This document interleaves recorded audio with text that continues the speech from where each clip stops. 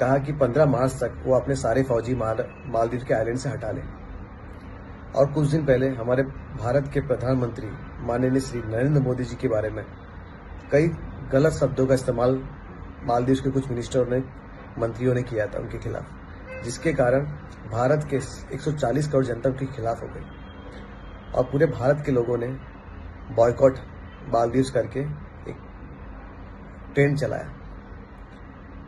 मैं all Indian senior worker association के अध्यक्ष होने के नाते AICW का, पूरे भारतीय फ़िल्म इंडस्ट्री जैसे बॉलीवुड टॉलीवुड कॉलीवुड भारत की हर इंडस्ट्री भारत के सभी बड़े एक्टर एक्ट्रेस प्रोड्यूसर से अपील करता हूँ कि कोई भी शूटिंग्स मालदीव में ना करें, पूरी तरह से बॉयकॉट करें।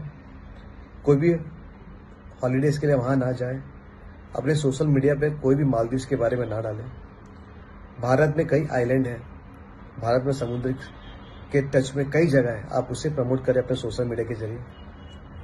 और पूरी तरह से, पूरी तरह से बॉयकॉट करें।